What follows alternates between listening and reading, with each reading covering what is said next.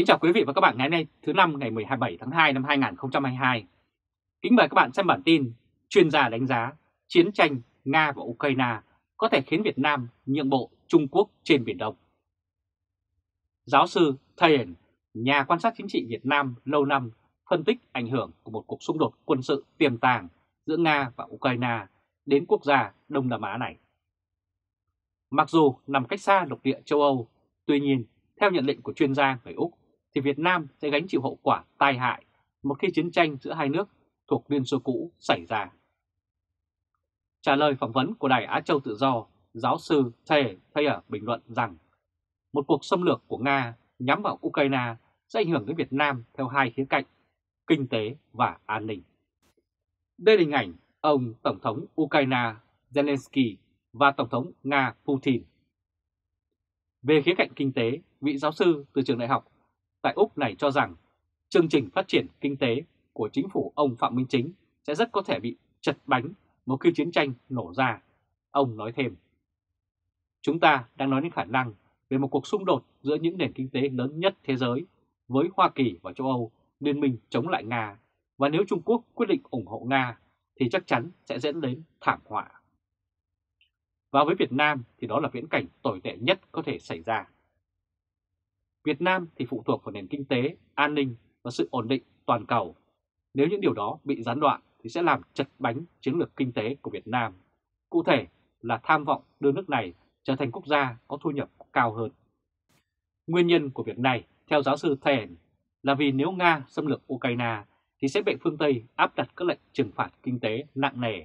Bất cứ nước nào làm ăn với Nga sẽ đều bị cấm vận lây theo. Do vậy sẽ ảnh hưởng trực tiếp đến quan hệ kinh tế giữa Việt Nam và nước Nga. Và nếu ông Tập Cảnh Bình quyết định sát cánh với Putin trong cuộc đối đầu với phương Tây thì thiệt hại mà Việt Nam phải hứng chịu sẽ còn nặng nề hơn nữa. Vì nền kinh tế toàn cầu sẽ bị đảo lộn mà nước này lại phụ thuộc vào việc xuất khẩu và nhập khẩu cũng như sự ổn định của chuỗi cung ứng toàn cầu. Ngoài khía cạnh kinh tế, Việt Nam cũng sẽ phải đối diện với thách thức về mặt an ninh một khi chiến tranh nổ ra ở châu Âu, theo giáo sư Thayen. Ông nói nếu một cuộc khủng hoảng xảy ra tại Ukraine, Trung Quốc sẽ có khả năng triển khai và đạt được nhiều hơn những điều mà họ muốn. Tuy nhiên, liệu Trung Quốc có muốn mở một cuộc tấn công trên Biển Đông hay không? Hay là họ sẽ cho Việt Nam thấy sự thay đổi về mặt tình hình thực tế khi mà Hoa Kỳ sẽ không thể đóng vai trò quyết định ở khu vực này nữa vì cuộc khủng hoảng tại Ukraine. Hay nói một cách khác là Việt Nam sẽ không thể dựa vào Mỹ để đối phó với Trung Quốc được nữa. Đây là hình ảnh Trung Quốc đã ngang nhiên đưa giàn khoan Hải Dương 981 vào hoạt động ở Biển Đông vào hồi năm 2014, dẫn đến hàng loạt cuộc biểu tình nổ ra tại Việt Nam.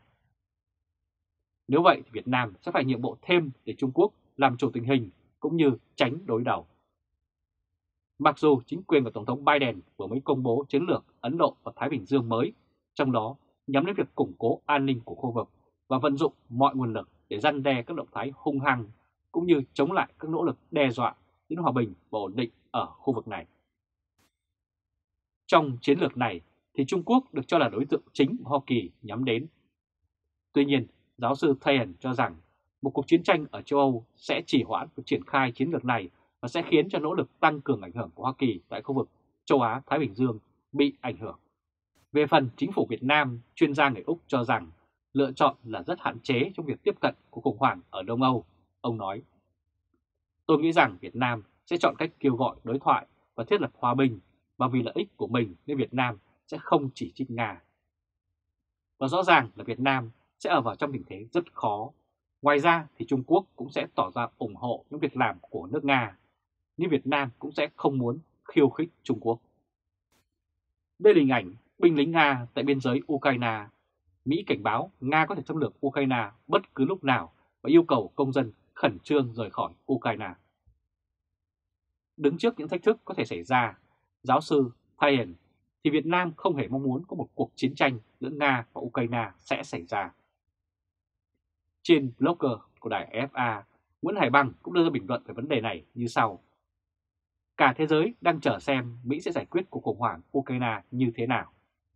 Điều này sẽ rất quan trọng vì các quốc gia đồng minh và các đối tác của Mỹ vẫn còn nghi ngờ các cam kết của Mỹ trước các vấn đề tại đây. Đặc biệt là sau khi Mỹ rút quân khỏi Afghanistan, đã gặp nhiều chỉ trích từ chính các đồng minh của Mỹ. Phát biểu gần đây khi nhắc tới việc Mỹ phải có các hành động phản ứng khi trật tự quốc tế dựa trên luật lệ đang bị đe dọa. Ngoại trưởng Mỹ Blink đề nghị cập như sau. Nếu chúng tôi cho phép những nguyên tắc đó bị thách thức mà không bị trừng phạt ngay cả khi châu Âu cách xa nửa vòng trái đất, thì điều đó sẽ có tác động ở đây. Những người khác đang theo dõi, những người khác đang tìm kiếm tất cả chúng ta để xem chúng ta phản ứng như thế nào. Trong bối cảnh đó thì Việt Nam, quốc gia vốn vẫn còn nhiều nghi ngờ về mục đích và động cơ cũng như các cam kết của Mỹ đối với khu vực ASEAN đang theo dõi và tiếp tục đánh giá các vấn đề này. Vì thế, Mỹ cũng cần phải chứng minh cho Việt Nam thấy thực tâm và cam kết của Mỹ mạnh mẽ đến mức nào để khiến cho Việt Nam tin tưởng.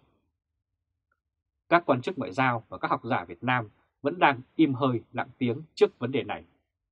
Điều này bởi lẽ Việt Nam có những trở ngại trước các mối quan hệ phức tạp. Một mặt, Việt Nam đang có mối quan hệ tốt đẹp với cả Nga và Ukraine. Tuy nhiên, mối quan hệ với Nga sẽ có vai trò quan trọng hơn với Ukraine khi Nga là một đối tác quan trọng để Việt Nam có thể sử dụng nhằm kiềm chế và đối trọng phần nào trước một Trung Quốc đầy hung hăng trên Biển Đông. Đây là hình ảnh đường ống dẫn dầu có chiều dài tới 1.000 km bắt đầu từ thị trấn tại vùng viễn đông của Nga đi qua các tỉnh Đông Bắc của Trung Quốc tới thành phố Đại Khánh thuộc tỉnh Hắc Long Giang. Nga luôn là một nguồn cung cấp vũ khí quan trọng cho Việt Nam.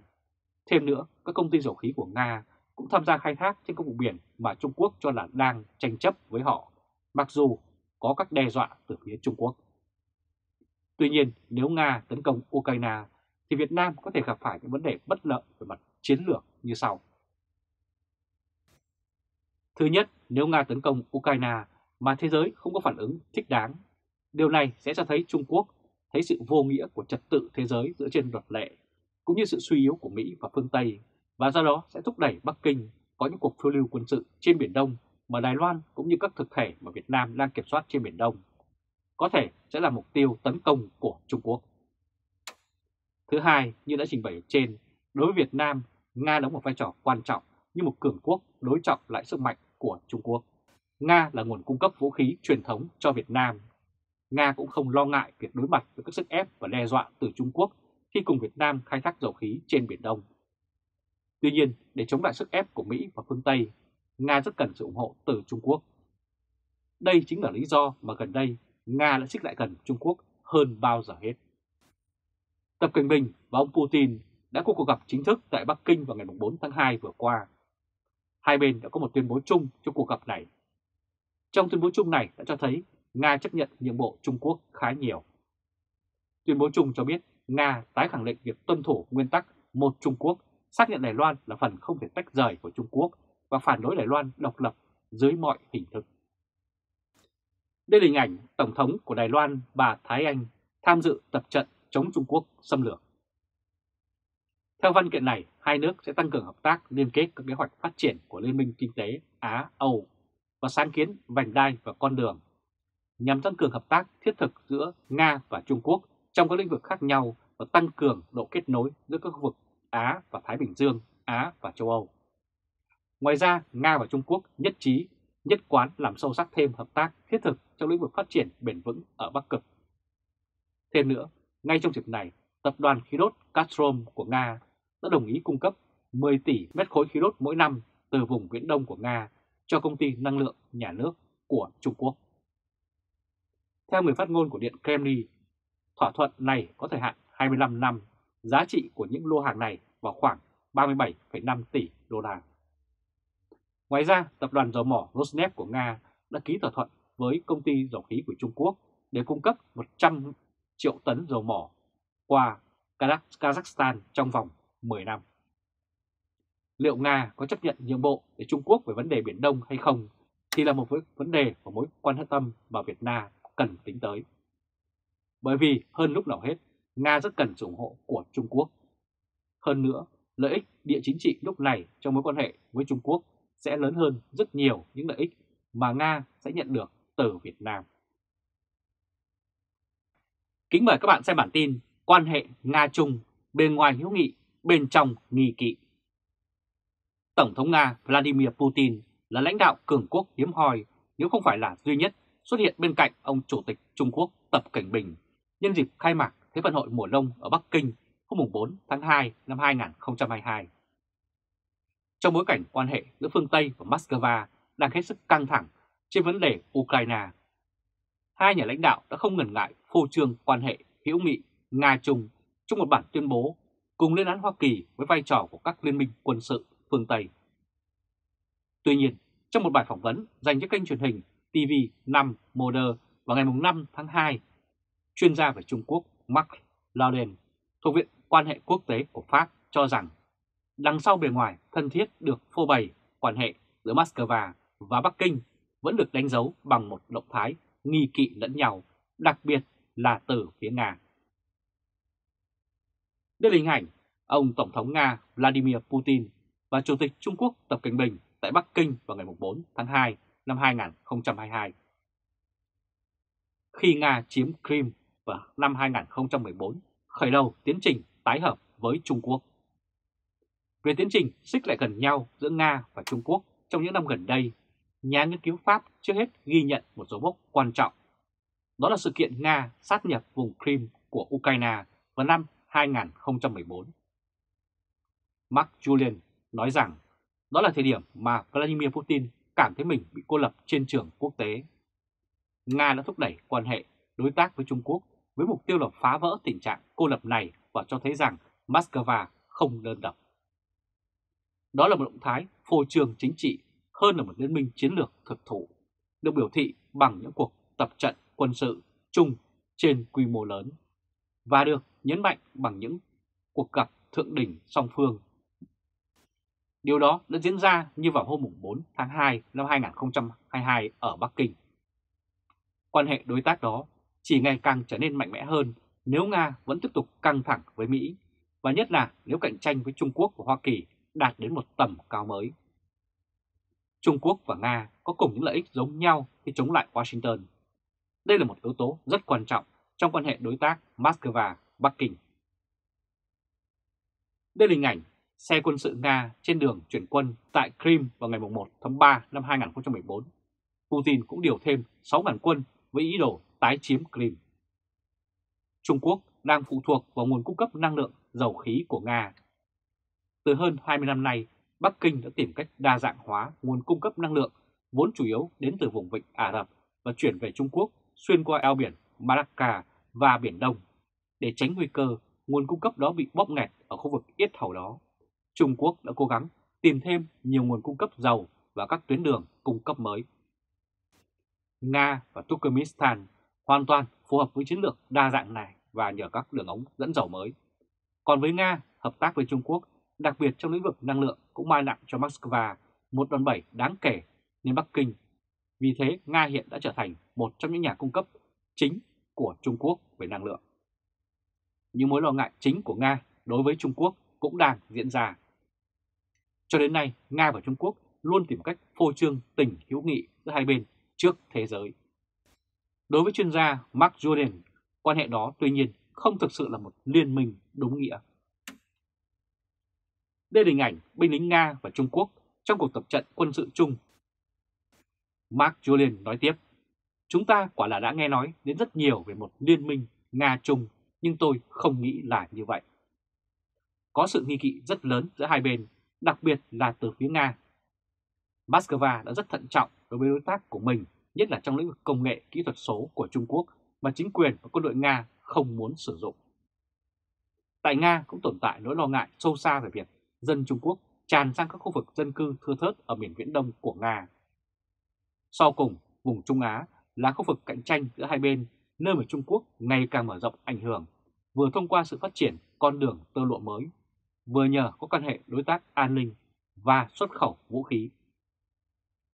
Còn về hợp tác song phương giữa Nga và Trung Quốc, đó là những quan hệ hợp tác tình huống. Cả hai bên đều biết chính xác và xác định các lĩnh vực có lợi ích chung mà việc hợp tác sẽ hữu ích. Trong lĩnh vực không gian chẳng hạn, hiện nay đang có một cuộc đua chinh phục mặt trăng giữa một bên là Hoa Kỳ và bên kia là Trung Quốc và Nga, với mục tiêu là thiết lập một trạm vũ trụ trên quỹ đạo mặt trăng vào năm 2030. Nga vốn là cường quốc không gian hàng đầu trong lịch sử, hiện lại không còn đủ phương tiện hoặc ít ra là một mình để thực hiện tham vọng của mình. Do đó, Moscow và Bắc Kinh đã ký một thỏa thuận hợp tác để thăm dò mặt trăng và cùng nhau xây dựng trạm này với các điều khoản vẫn còn rất mơ hồ. Đây cũng là một cuộc cạnh tranh trực tiếp cụ thể với Hoa Kỳ. Do đó, quan hệ đối tác giữa Trung Quốc và Nga là một cuộc hôn nhân vì lý trí, một mối quan hệ hợp tác tùy theo hoàn cảnh. Đây là hình ảnh đường ống dẫn dầu có chiều dài khoảng 1.000 km bắt đầu từ vùng viễn đông của Nga, đi qua các tỉnh đông bắc của Trung Quốc tới thành phố Đại Khánh thuộc tỉnh Hắc Long Giang. Chúng ta vẫn còn xa với một liên minh ngoại giao, chính trị và quân sự bao gồm một hiệp ước phòng thủ chung. Hơn nữa, nếu chiến tranh nổ ra ở Ukraine, khó có thể thấy Trung Quốc lao vào giúp đỡ Nga, và đó cũng không phải là yêu cầu của Moscow đối với Bắc Kinh. Hơn nữa, trong một số lĩnh vực, lợi ích của hai nước hoàn toàn khác biệt lẫn nhau. Cũng cần nhớ rằng Nga bán rất nhiều vũ khí cho Ấn Độ, quốc gia đang có tranh chấp biên giới với Trung Quốc. Và ngay cả Nga cũng bán vũ khí cho Việt Nam. Bắc Kinh thì muốn mượn tay Nga thăm dò phản ứng của phương Tây. Một trong những câu hỏi được đặt ra là Trung Quốc có lợi gì khi về hùa với Nga trong cuộc đọ sức trên hồ sơ Ukraine. Theo chuyên gia Mark Julia, ý đồ của Bắc Kinh là mượn tay Moscow thăm dò phản ứng của phương Tây để rồi sau đó áp dụng đối với các nước láng giềng của mình. Mark Julia nói rằng xung đột Ukraine là một cuộc xung đột hoàn toàn của Nga, không có sự liên kết nào giữa Moscow và Bắc Kinh hay hợp tác nào trên những gì Putin có thể làm ở Ukraine. Nga chỉ cần đến hậu thuẫn chính trị từ Trung Quốc. Mặt khác, Bắc Kinh và Moscow rất quan tâm đến việc liệu xem Hoa Kỳ và châu Âu phản ứng như thế nào. Nhà nghiên cứu này nói tiếp, theo tôi, cả Vladimir Putin lẫn Tập Cận Bình đều cho rằng phương Tây đang suy tàn và không còn đủ sức mạnh hay ý chí lao xuống các cuộc xung đột có cường độ cao. Ukraine là một thử nghiệm trên thực địa nhằm xác nhận giả thiết đó. Đây là hình ảnh binh lính Nga tại biên giới với Ukraine. Mỹ cảnh báo Nga có thể xâm lược Ukraine bất cứ lúc nào và yêu cầu công dân khẩn trương rời khỏi Ukraine. Trung Quốc cũng quan tâm trực tiếp đến cuộc khủng hoảng Ukraine vì nước này có một dự án chống lại Đài Loan. Bắc Kinh cũng luôn tuyên bố rằng một ngày nào đó sẽ lấy lại hòn đảo kể cả bằng vũ lực. Nếu Mỹ và châu Âu không có phản ứng gì với Ukraine, điều đó sẽ củng cố thêm niềm tin của Bắc Kinh và một kế hoạch bành trướng của họ ở khu vực Đông Nam Á và vùng Biển Đông, trong đó có Việt Nam. Trung Quốc chống NATO vì bắt đầu xem Bắc Kinh là đối tượng việc chống lại Liên minh Bắc Đại Tây Dương NATO là một điểm hội tụ khác giữa Nga và Trung Quốc. Nga phải đối đầu trực diện tiếp với NATO ở sườn phía Tây của mình mà vẫn phải chống lại mong muốn mở rộng của khối này. Về phần mình, Trung Quốc đang biến thành đối tượng ngày càng bị NATO dòm ngó. Vào tháng 6 năm 2022, một hội nghị thượng đỉnh NATO sẽ mở ra và một khái niệm chiến lược mới của NATO sẽ được thông qua xác định lại mục tiêu và tham vọng của tổ chức trong 10 năm tới. Dù không bị nêu tên trong chiến lược NATO cho đến nay, nhưng hầu như chắc chắn là lần này Trung Quốc sẽ giữ một vị trí không thể bỏ qua trong tài liệu mới và đó không phải là một tin tốt lành gì cho Bắc Kinh.